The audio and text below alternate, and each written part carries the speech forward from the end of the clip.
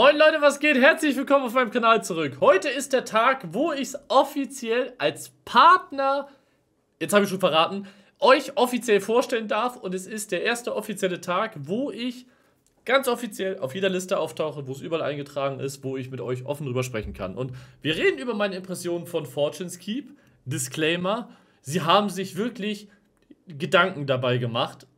Technische Probleme und anderes ruinieren das Ganze aber wieder. Bevor wir dazu aber kommen, ich bin offiziell deutscher Display-Partner. Ich habe absolut keine Ahnung, warum von all den Hunderten und Tausenden, die sich da in den letzten Jahren beworben haben, ausgerechnet ich das Glück habe. Aber ich werde mich nicht beschweren.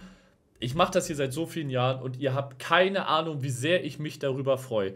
Jeglicher Geldaspekt zur Seite und irgendwelche Umsatzbeteiligung und sonst irgendwelche Sachen, die damit reinspielen die Tatsache, dass ich seit Jahren Kunde bei Displayed bin und diese Idee, die sie damals hatten, einfach genial finde.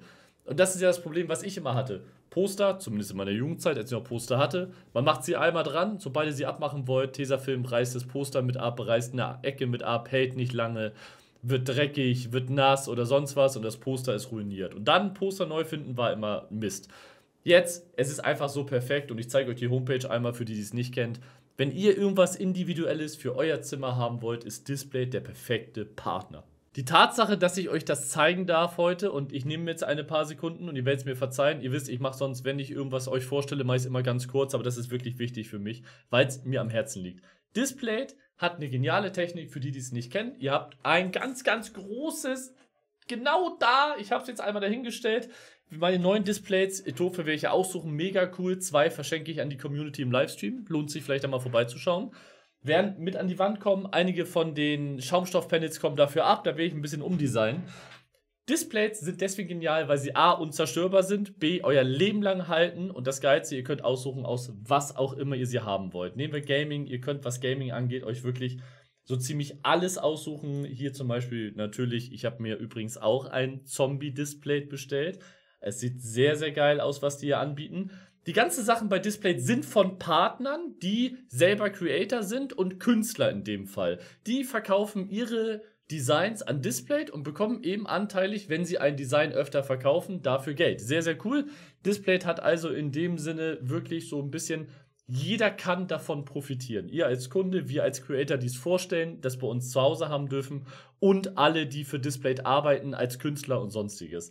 Das Geile ist, Ihr braucht nur einen Code von mir eingeben. Hier oben ist jedes Mal ein aktueller Link. Aktuell 22% Rabatt auf ein Display und 33, wenn ihr zwei oder mehr bestellt. Das Coole ist immer, ihr braucht überhaupt nicht irgendwie 100.000 Sachen bedenken, sondern einfach nur den Link anklicken. Ihr nehmt den Code, der gerade bei Display aktiv ist. Ist egal, welcher das ist. Guckt, dass es ein guter ist. 33% Rabatt auf zwei Displays ist schon mega.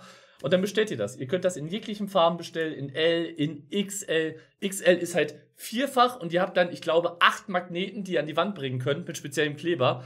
Wenn ihr es irgendwann anders, woanders hin haben wollt, macht die Magneten ab, keine Rückstände, macht es neu wieder ran. Ich liebe diese Partnerschaft und ich bin so froh, dass die mich dazugenommen haben.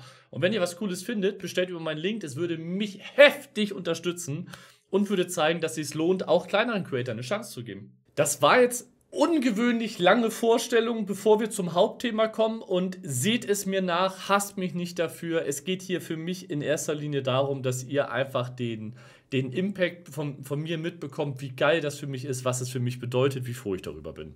Aber wir wollen ja auch zum nicht so guten Thema kommen. Fortune's Keep, Remastered, Reloaded. Man kann es nennen, wie man es eigentlich will. Es ist Fortune's Keep mit einigen Änderungen. Und ich habe in meinem Leben ja mittlerweile gelernt, es kommt immer besser an bei der Zuschauerschaft, wenn man zumindest ein paar oder die positiven Dinge zuerst erläutert, um dann auf die negativen einzugehen. Was ist positiv an Fortune's Keep? A, dass es zurück ist. Ich fand nämlich die Resurgence-Karten jetzt bei Al-Masra und so nicht so geil.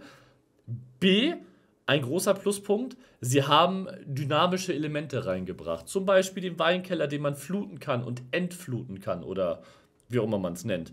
Ähm, die dynamischen Brücken auf der Karte, die eben auch verschiedenste Plays erlauben. Sie haben an der gesamten Beleuchtung Änderungen vorgenommen, die dafür sorgen, dass wenn man in einen Raum reingeht und wieder rausgeht, dass dieser Übergang viel dynamischer aussieht.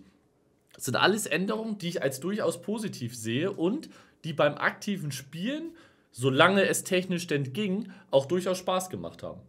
Hätte man also Fortune's Keep mit diesen dynamischen Änderungen und Elementen rausgebracht und wir hätten vielleicht nicht das schmutzigste Matchmaking, was es in irgendeiner Franchise überhaupt gibt, die nicht ranked ist. Und ja, es gibt Resurgence. Ranked hat ja auch nicht funktioniert, da wurde dann auch die SR nicht gezählt und so viele Probleme und es ist so ernüchternd darüber zu berichten, weil man als Creator und einige sagen ja, man möchte mit Absicht negativ berichten, weil es mehr Aufrufe gibt. Das ist sogar wahr. Aber wisst ihr, die Diskussion, die ich dann in den Kommentaren führen muss, wo Leute dann einem sagen, dass man mit Absicht Dinge negativ sieht, selbst wenn sie sie gar nicht so negativ sehen, sind ermüdend und wenn man das über Jahre macht, hat man irgendwann keine Lust mehr drauf. Ich bin aber auch kein Creator, der einfach fünf Videos die Woche raushaut, indem er irgendeinen Schwachsinn gut redet, nur damit er eine gewisse Anzahl an Videos hat und eine gewisse positive Meinung. Und ich glaube, jeder, der mich jetzt im gesamten Zyklus, den wir bisher von MB3 haben, verfolgt, hat gesehen und kann das in jedem einzelnen Video, sind alle verfügbar, auch nachsehen. Ich bin kein, ich hasse MB3 nicht, ganz im Gegenteil. Ich finde, super viele Entscheidungen sind genau richtig gewesen dieser große, dieses do, große, dunkle Damoklesschwert, was sich SBMM nennt, ist einfach über allem und ruiniert die gesamte Experience. Und dieses Jahr sogar mehr, obwohl das Game besser ist als letztes Jahr, was mich persönlich tatsächlich erschrocken hat. Und ich glaube, dass einfach viele, so wie ich, an dem Punkt sind, wo sie, was diese Franchise angeht, sehr ernüchtert sind und sehr satt einfach und, und auch nicht mehr bereit, einfach alles hinzunehmen. Und dieses Hinnehmen ist das, was uns zu den negativen Aspekten führt. Die technische Verfügbarkeit von Fortune's Keep bis heute, eine Woche nach dem Update, ist absolut bodenlos. Im Hintergrund läuft die einzige Runde, die wir halbwegs zu Ende spielen konnten, ohne durchgängig Packet Lost, ohne durchgängig FPS-Einbrüche, die dafür gesorgt haben, dass das Game einfach crasht.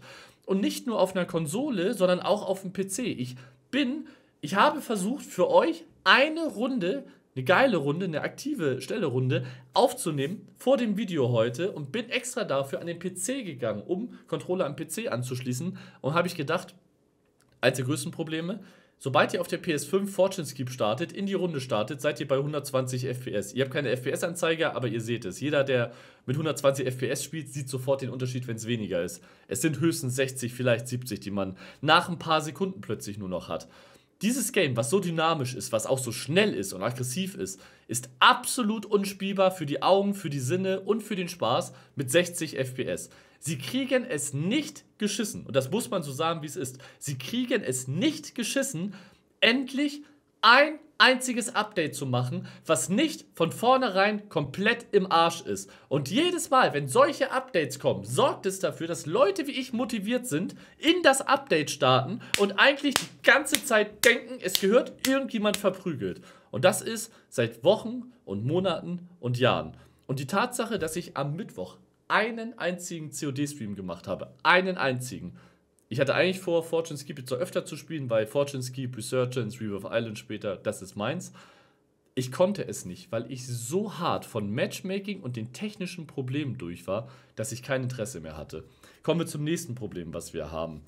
Die gesamten Power-Ups, die wir bekommen, diese Zombie-Power-Ups, klingen und klangen super gut, machen aber die, die, die gesamte Dynamik des Games total wirr. Es ist Leute laufen an einem vorbei, die gefühlt doppelt so schnell sind. Manche kriegen keinen Fallschaden. Man jagt jemanden, man geht mit einem Fallschirm hinterher, die fallen einfach auf den Boden, kriegen keinen Fallschaden, töten einen in der Luft. Es sind so viele random Aspekte, die schon wieder reingebracht worden sind. Und diese random Aspekte werden nicht reingebracht, weil jemand bei den Entwicklern wirklich denkt, dass das eine geniale Entscheidung ist, sondern weil bei jedem einzelnen Gameplay-Aspekt mittlerweile auf die Mehrheit der Spieler geachtet wird, nämlich die Casual Gamer.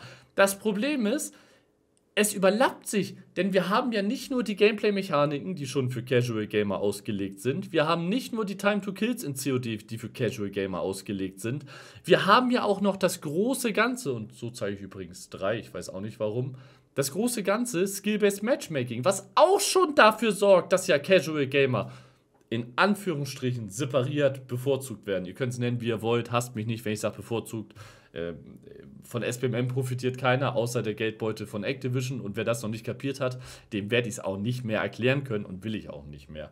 Das heißt, Fortune's Keep könnte als Überbrückung für alle, die jetzt mit Multiplayer durch sind, eine gelungene Abwechslung sein. Sie haben es aber mit dem gesamten Update wieder nicht hingekriegt, dass es einfach von Anfang an vernünftig, flüssig läuft. Und wisst ihr warum nicht? Weil man anstelle von Activision und Microsoft Tausende von Qualitätstestern, Spieleentwicklern und verantwortlichen Personen rausgeschmissen hat, damit man den Gewinn wieder maximieren kann. Und wisst ihr was? ich mache Content über COD, das ist mehr oder weniger auch Werbung, das weiß ich. Ich, ich mag es einfach darüber zu sprechen, weil ich so viel Erfahrung in dieser Franchise habe. Aber ich als Spieler habe einfach keinen Bock mehr, mir das zu geben. Ich sitze im Stream und muss Dutzende von Menschen unterhalten, obwohl ich eigentlich die Hilfe eines Games dafür haben sollte. Ich kann es aber nicht, denn das Game stürzt die ganze Zeit ab. Ich bin in der Lobby, Lobby-Wartesuche, äh, Freundes-Lobby-Suche und, und, und. Es ist einfach ermüdend, es ist einfach anstrengend ich hoffe, dass sie diese FPS-Probleme und diese FPS-Einbrüche, und ich weiß nicht, ob ihr dieselben hattet, ich vermute, weil wir hatten es alle in der Party, dass sie die in den Griff bekommen. Ich hoffe, dass sie diese Zombie-Power-Ups nie wieder mit reinmachen und komplett entfernen. Und ich hoffe, dass der Rework von Rebirth Island, der ja schon geteasert wurde, von Anfang an besser funktioniert. Wir haben ein bisschen anderes Movement als zur Vanguard-Zeit und es ist auch okay für mich. Das Movement ist trotzdem gut. Nicht so gut wie früher, aber gut. Aber wenn das Game technisch nicht wirklich spielbar ist, kann es auch keiner genießen und dann seid ihr genauso wie ich, dann sucht man sich irgendwann halt etwas anderes. Und ich glaube, vielen von euch geht so, und das verstehe ich auch, und da gehöre ich mittlerweile ein Teil auch dazu. Ich, ich sehe keine Chance mit dem Matchmaking, mit den Problemen, mit dieser amateurhaften Vorstellung von Games mittlerweile, dass man euch und mich langfristig als aktive Spieler wirklich wiedergewinnt. Und muss euch sagen, andere Games wie Tarkov und nennt es wie ihr wollt, machen es einfach besser. Lasst mich eure Meinung wissen. Haut euch ein geiles Display ins Wohnzimmer, wünscht euch das zum Geburtstag und vielen Dank dafür, dass ihr mir das ermöglicht habt. Mir bedeutet das super viel. Ich hoffe, ihr versteht das. Haut rein.